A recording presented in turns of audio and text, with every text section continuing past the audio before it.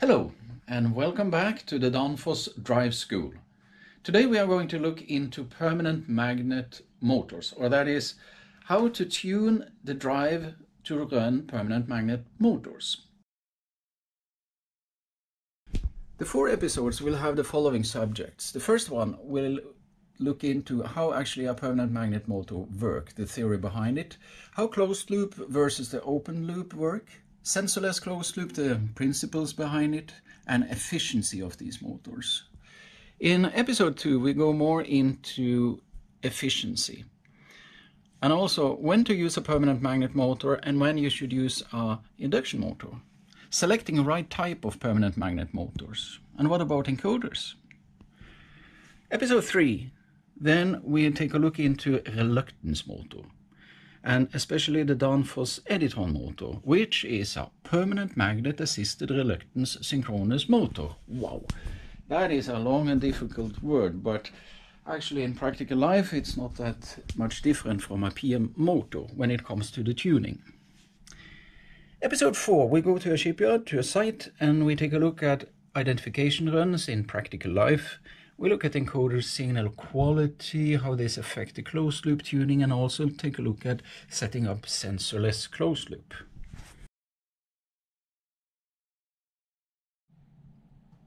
How does the permanent magnet motor actually work? Here we have a drive shaft with a process, here a ship propeller. On the drive shaft we have put a permanent magnet made of a material called neodymium, which is a very strong magnetic rare metal. Here we have the north pole and the south pole of the magnet. Then we put a piece of iron, we call it the stator. And around this iron, we put an electrical winding, and this is connected to a frequency converter, a drive, in this case, NXP drive. We know from the physics that when a current goes through an electrical wire, then there will be a magnetic field around the wire. This magnetic field will push the iron atoms into pointing into one direction. So here we can, with the electrical current, force all the south poles to point in one direction. So this piece of iron becomes like a magnet, where we can control the south pole in this case, and we can also then, by turning the direction of the current, then we can turn this pole into becoming a north pole. We know that different polarity on the magnetics will attract each other. So these two ones, they will attract. And we now get a small rotation, so this one will move up to here.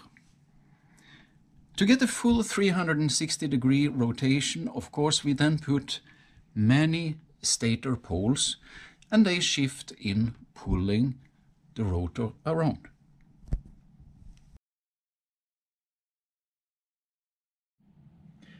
This is a miniature permanent magnet motor. On the rotor we have installed permanent magnets. Normally, the stator winding will create the magnetic field pulling in the rotor magnets. To simulate this, I have here a permanent magnet which makes a field. And here we see that by moving and rotating the stator field, I can have a rotation on the machine shaft. Important here is to see that the stator field and the magnetic field from the rotor always need to be in synchronization. This is why it's called a synchronous machine. Also the angle between these two, we see that they like to sit straight overhead each other. This is called the polar angle. If this angle gets too big, we see that they don't interact with each other anymore. This is called a motor stall, and this is why the polar angle can only be up to a certain value. If it gets too big, the motor stalls. We are now going to look into the motor back EMF voltage. All permanent magnet motors, they are able to produce a voltage which is more or less linear with the speed you pull the rotor. If you're using the motor as a windmill. Let's say we have a windmill here on the rotor. So it spins around and every time the magnet passing the stator winding, there will be induced a voltage in the electrical circuit. So the driver here will see a voltage which is more or less linear to the RPM. This is called the back EMF voltage.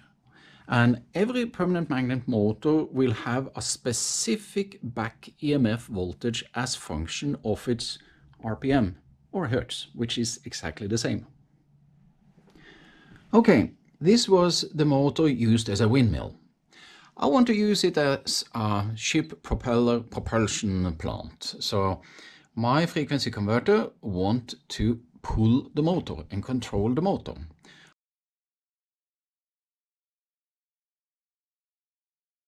What then about the back EMF? It means that if I want to spin the ship propeller, let's say at 500 RPM, 500 RPM, it means that the motor itself produces some voltage. So for me to be able to control the motor with the drive, I need to push the current here. So my drive need to have a voltage output which is higher than the back EMF. It means that to control this motor as a, propul ship propulsion plant, my frequency converter need to sit above the back EMF voltage at any time.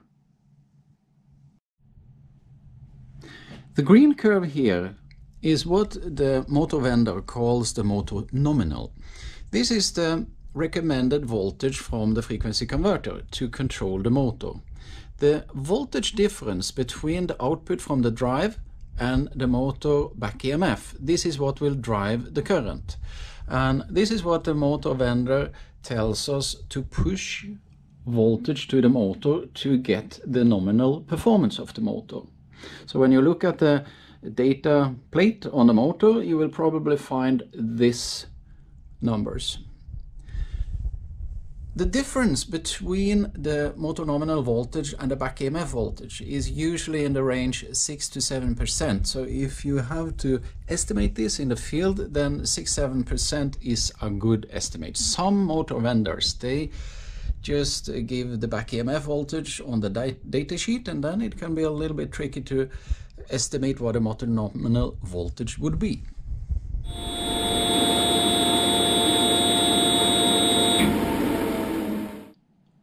Let's put our motor under load. We pitch the ship propeller and we want uh, full forward and rotate as fast as possible. So what happens is that the frequency converter will rotate the stator magnet field. Now, the propeller is hard to drive, it's heavy. So the magnets, the rotor, will start lagging behind.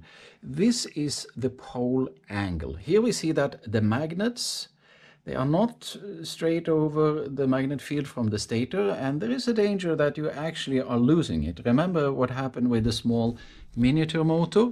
When I pull this too far, it just stalled. So this must not happen. We must make sure that this polar angle are kept within its physical limits. The way it's done in uh, a frequency converter is with a closed loop control. We have a computer to control this we put a sensor on the shaft so that we always can see how the rotor is positioned in reference to the stator magnet field. So this polar angle is known to the frequency converter. What happens is that if this angle gets a little bit too big and there is a danger that you start losing uh, the motor, there is a danger for stalling. The frequency converter will increase the voltage to the stator winding and there will be a higher reactive current in the stator winding which creates a higher physical force. So these two are moved closer to each other. So it's a kind of um, computerized control system that keeps this polar angle within its limits all the time. Uh, the motor vendor tells us that for a certain amount of torque, there should be a certain polar angle.